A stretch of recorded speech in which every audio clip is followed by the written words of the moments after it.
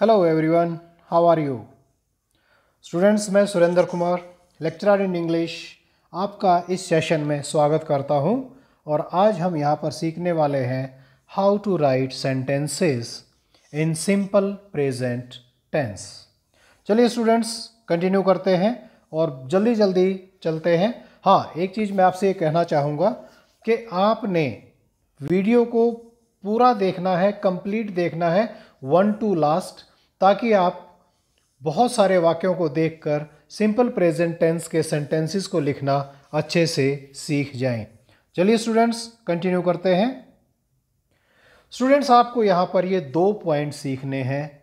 ये दो पॉइंट आपके लिए बहुत इंपॉर्टेंट है, बहुत महत्वपूर्ण।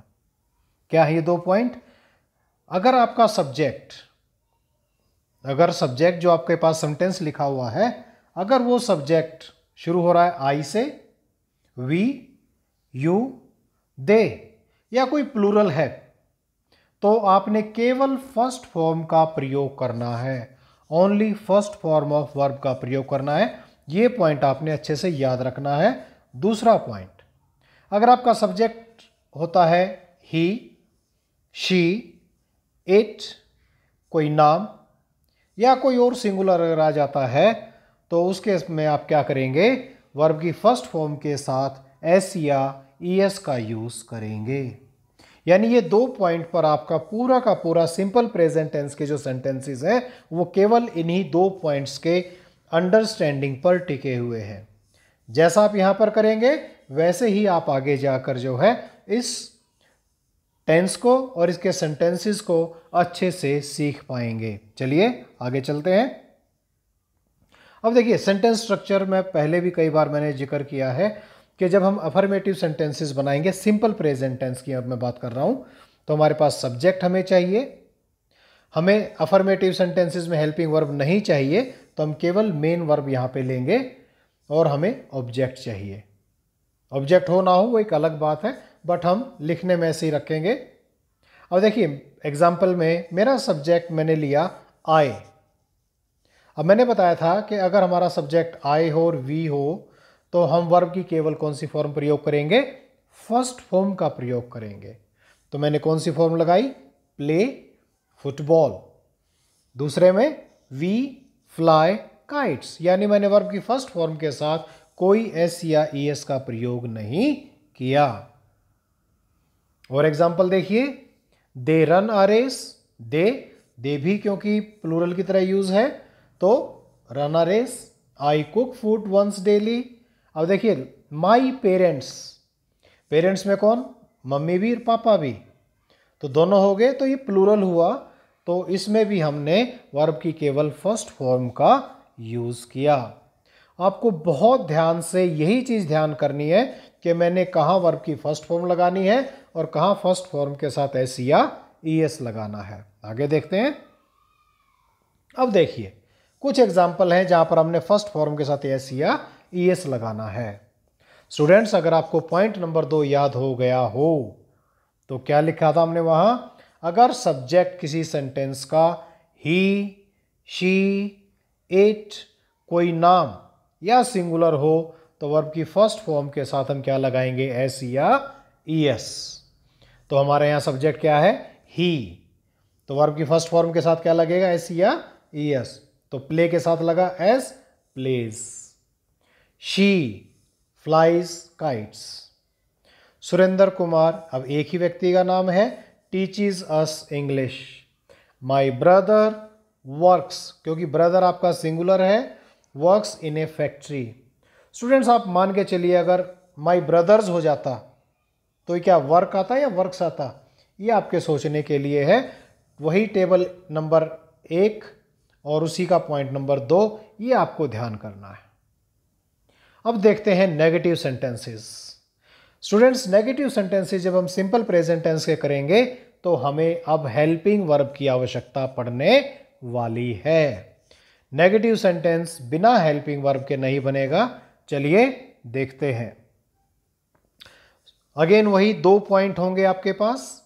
अगर आपका सब्जेक्ट सेंटेंस जो आपके सामने है उसमें आई है, वी है, यू है, दे है या कोई और प्लूरल है तो हम डू नॉट और उसके बाद वर्ब की फ़र्स्ट फॉर्म लगाएँगे।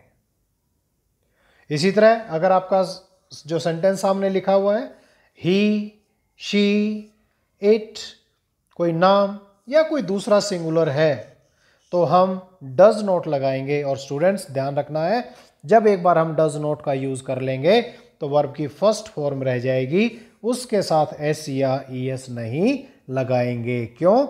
क्योंकि जो वर्ब की फॉर्म का एस या ई एस था, वो डज में चला गया है। ये गलती आपने भूल कर भी नहीं करनी है। सेंटेंस एग्ज़ाम्पल देखेंगे अब हम। यानी आप सबसे पहले पैटर्न देख लीजिए। सब्जेक्ट लिखेंगे हेल्पिंग वर्ब लिखेंगे नोट लिखेंगे मेन वर्ब और object I do not play football I do not play football we do not go for a walk daily यानी आई और वी के साथ हमने डू नॉट लगाया, फिर प्ले लगाया, हमने एस आई एस नहीं लगाना था। कुछ और example he does not play football यानी जैसे ही सब्जेक्ट बदला है तो हमारा डू और डज का जो यूज़ है, वो चेंज हो जाता है। I do we do he does she does इसी तरह माई मदर माई मदर भी सिंगुलर होता है तो वर्क्स ऑल डे तो ये पॉजिटिव सेंटेंस है अफर्मेटिव है, और ऊपर के जो दोनों सेंटेंसेस थे वो नेगेटिव थे.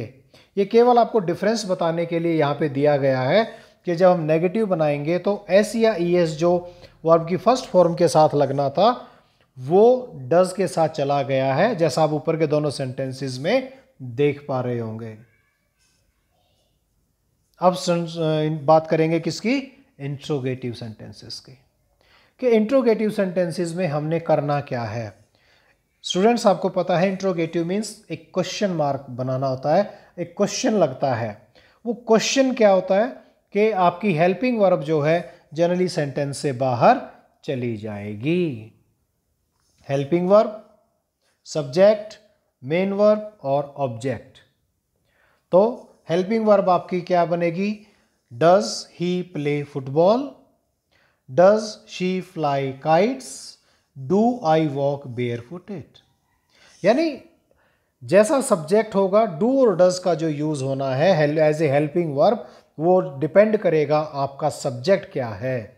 अगर सब्जेक्ट आई है तो डू लगाएँगे ही है तो डज लगाएँगे शी है तो डज लगाएँगे। और जब हम डू और डज का प्रयोग कर लेंगे तो हम केवल वर्ब की फ़र्स्ट फॉर्म लगाएँगे एस या ई एस नहीं लगाएँगे। आगे देखते हैं। Does Reena love hockey do you know me do they attend classes regularly do cows give milk यानी आप देखिए, सभी जो प्लूरल हैं या जिसका जैसा भी सेंटेंस स्ट्रक्चर है, वैसा ही हमने यूज़ किया है, यही यूज़ आपको सीखना है। कि मैंने रीना के साथ डज क्यों लगाया? क्योंकि वो एक नाम है और उस एक सिंगल नाम आएगा तो उसके साथ डज, यू के साथ नहीं लगाया क्योंकि वो सेकंड पर्सन है। तो इसी तरह से आपने देखते चलना है। मैंने और भी बहुत सारे सेंटेंसेस लिए हैं आपके लिए। Affirmative sentences subject main verb object he lives on milk she goes for a walk my father milk cows Sita learns her lessons यानी आपका सब्जेक्ट ही तो वर्ब की फ़र्स्ट फॉर्म के साथ s c i s affirmative sentence she वही same case my father again singular है. सीता, नाम है. तो सभी में वर्ब की फ़र्स्ट फॉर्म के साथ एस या एस और एग्ज़ाम्पल आपके लिए दिए हुए हैं. सब्जेक्ट हेल्पिंग वर्ब क्योंकि है नहीं, लेकिन मैंने आपके लिए लिख दिया है कि अफर्मेटिव सेंटेंसेज में हमें सिंपल प्रेजेंट टेंस में हेल्पिंग वर्ब नहीं चाहिए. तो हम वहाँ नहीं लगाएँगे। दे हेल्प यहाँ एस एस नहीं लगा।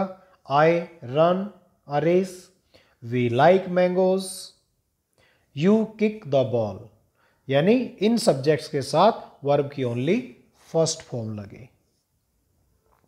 नेगेटिव सेंटेंसेस में he does not play football my mother does not cook food Sarla does not like me she does not cook food यानी आपको डू डज का मैं यूज़ जो है सिखा रहा हूँ और बार बार आप प्रैक्टिस करेंगे बार बार आप करेंगे तो उस प्रैक्टिस से ही आप जो है, अपनी जो एक, आपके जो सेंटेंस गलत लिखने की एक परंपरा है, उसको आप दूर कर पाएँगे।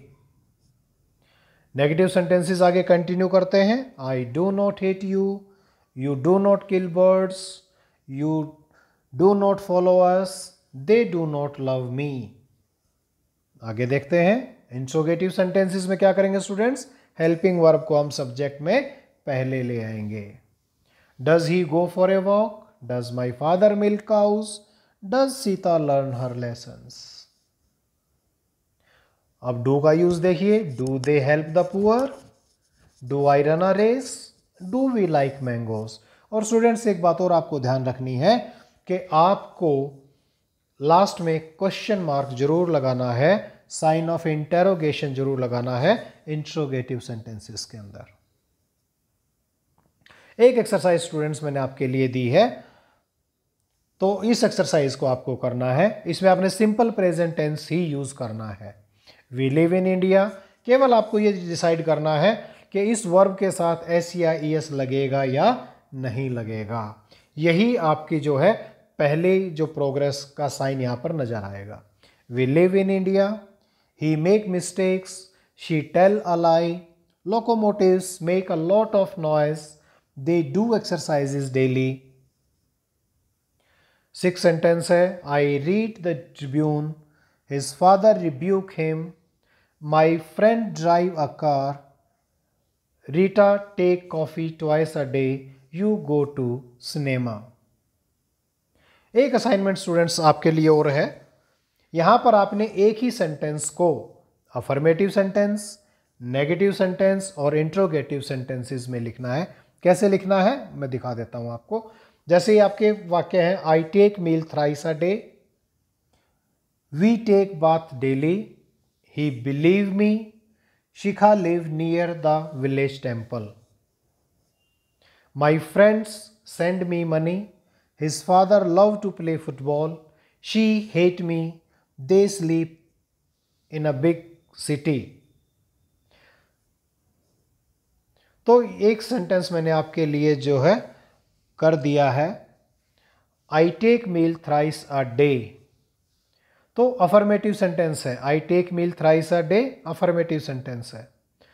I do not take meal thrice a day ये नेगेटिव बना दिया हमने इसको।